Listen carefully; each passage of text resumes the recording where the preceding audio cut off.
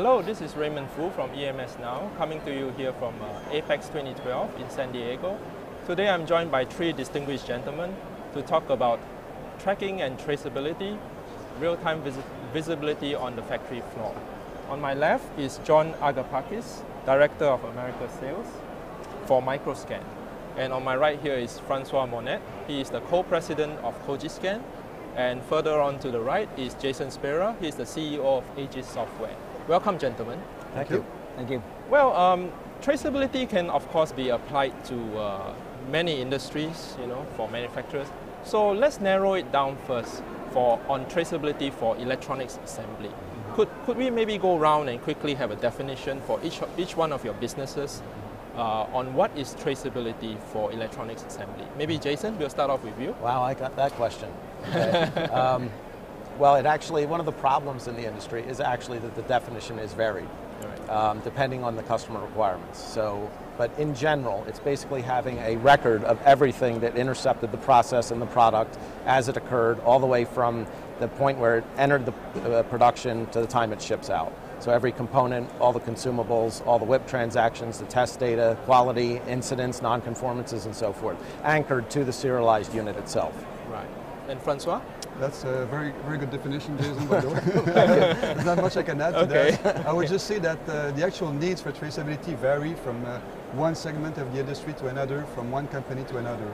Uh, everybody ul- ul- ultimately uh, would like to have a complete traceability of everything, but there's always a cost associated with that. Right. So the question is how much the industry is demanding, you know, if it's a life critical product or if it's just consumer electronics, maybe you have different uh, price points and different Right, needs right. that can be answered. So you need to have sort of a modular, scalable offering Right. to be able to do that. Yeah, we- we're going to go into that, the scalability of solutions. Okay, excellent. Okay, uh, John, perhaps? I think again, very uh, very good definitions uh, from both.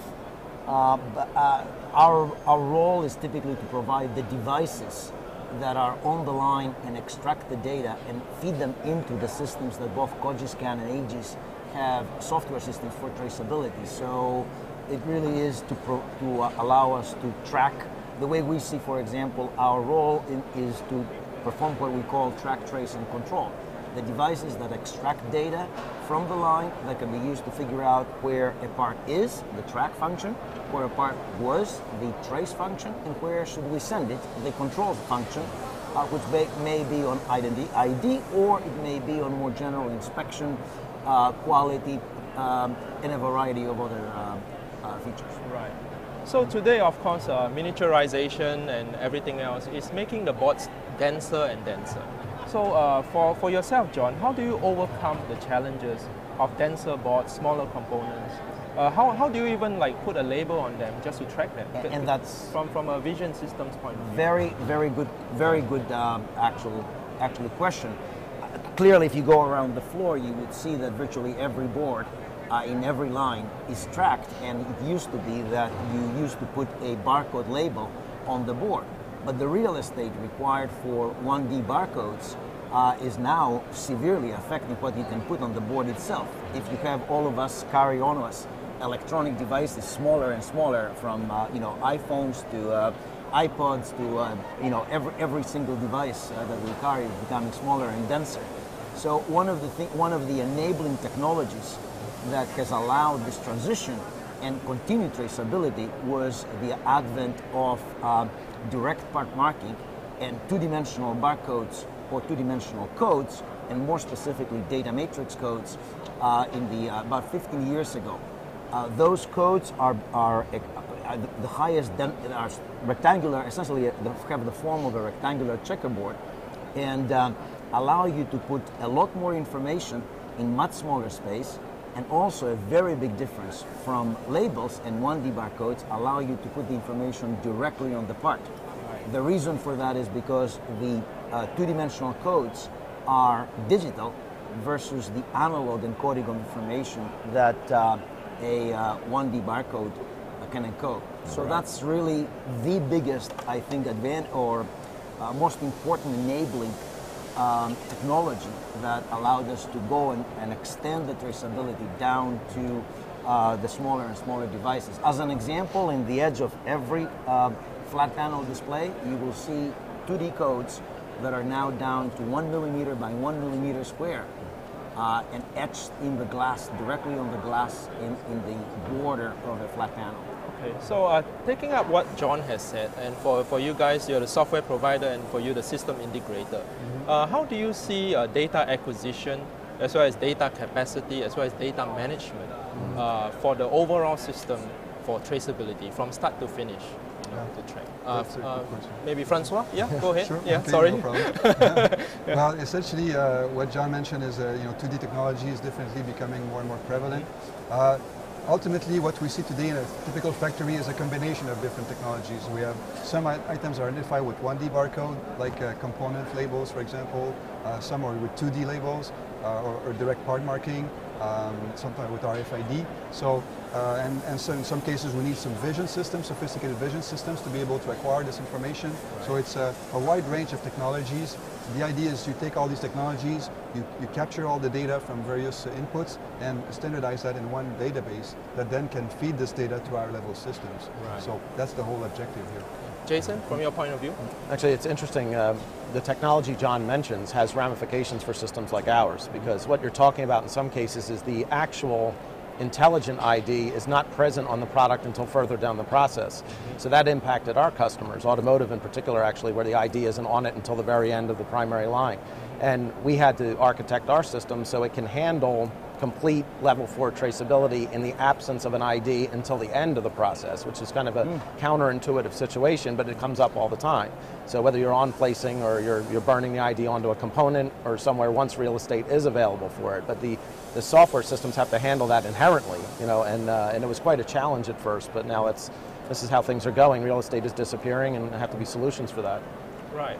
And uh, just to go on uh, about uh, the reduction of errors, obviously accuracy is very important, but speed is important as well. Mm-hmm. So uh, how are these two qualities achieved while implementing traceability? Uh, maybe John, you can go. Uh, speed, you mean in terms of scanning? Yes, yes. How, how quickly can you acquire the data or how quickly can you find out what's, what happened or what's wrong on the mm. line? There are two aspects of that, and I'll probably uh, I will deal with the what's going on on the line, and then uh, yep. my friends can uh, can take it up in the database and, and the uh, rest of the software.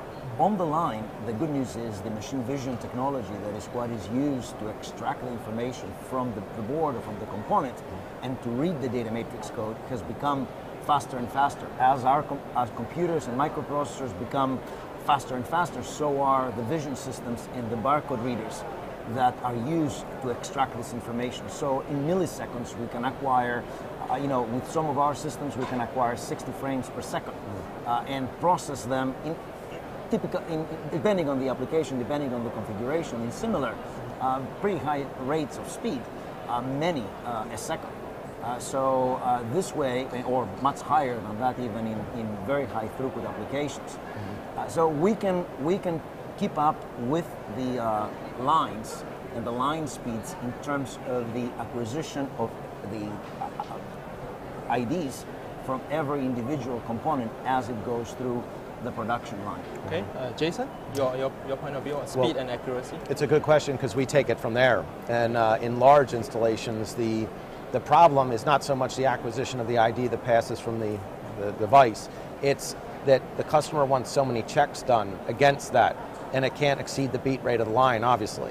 Um, so now you're talking about sometimes 15, 20 different checks, whether it's too many yield problems at functional test, it could be material problems at that point of use, or anything.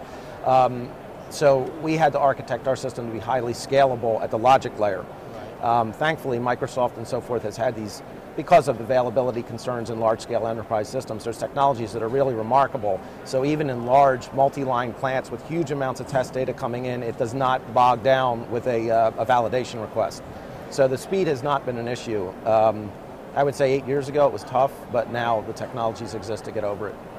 Francois? Uh, it used to be a few years ago where people would view traceability as the, uh, the end result and you had to spend all this money uh, getting the data collection hardware and software in place, scanning all this data. It was viewed as an additional cost you know, to get the data into the right. traceability database. But uh, the way we look at it is really traceability should be a byproduct uh, almost of a, of a good tracking and control system. What right. you're trying to do is get real-time visibility to get good, and, you know, good response time for what's going on in the factory and how you react to that. And making sure that there's no errors. And if you do that really well, you can have full traceability as a result of that. So obviously, You mentioned, yeah, you, go ahead. you John. mentioned that accuracy, and we didn't, I don't think, that addressed the question of accuracy, and probably is worth pointing out that contrary to the 1D barcodes, the two-dimensional barcodes uh, have built-in error correction ability. So first of all, uh, they, they're guaranteed to not give you the wrong number, the wrong answer. Uh, they will be, you will, you may be able not to read it if the code is extremely damaged or obscured, but you will not get a wrong, a wrong number, a wrong answer, and a wrong ID. Uh, furthermore, even if you have a scratch or if you have uh, a portion of the code missing because of the built-in error correction characteristics of the code, you could be missing up to 20% or in some cases more of the code itself, depending on the type of damage, and still be able to reconstruct fully what the uh, ID was in the code. Very contrary, very different from a 1D barcode where if you miss portion of the barcode, the best you can do is find out that you haven't that you cannot read it, but you cannot reconstruct it. Right. And so my next next question is perhaps more more uh, re- relevant for both both you guys, you know, system integrator as well as software. Um, obviously, different manufacturers would require different solution sets to their challenges, and it does not make sense for them to invest in a so-called box solution for overall. So, uh, how scalable and how modular are traceability solutions today, Jason?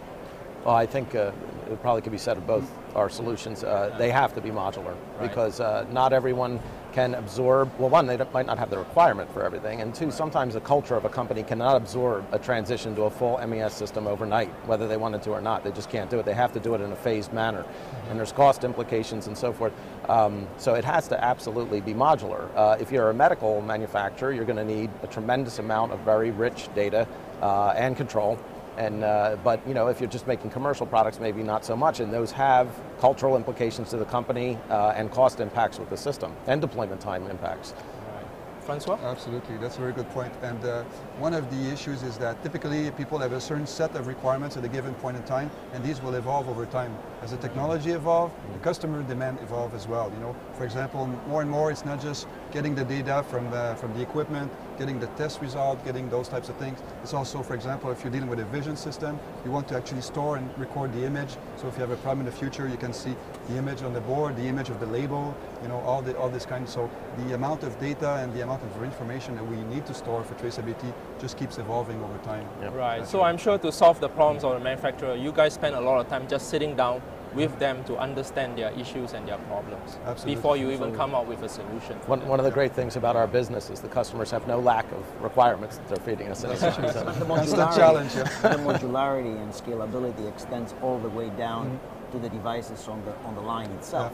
So uh, in, in our case, in uh, in the readers, um, most of our systems or all of our systems really are scalable and modular.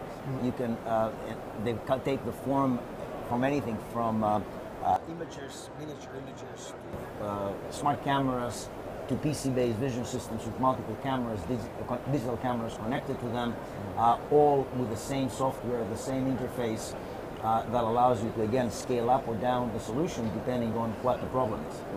Well, thank you, gentlemen, for sharing your considerable insight into this uh, this area of electronics manufacturing. Thank, you so you. much. Yeah, thank you. Thank you. Pleasure.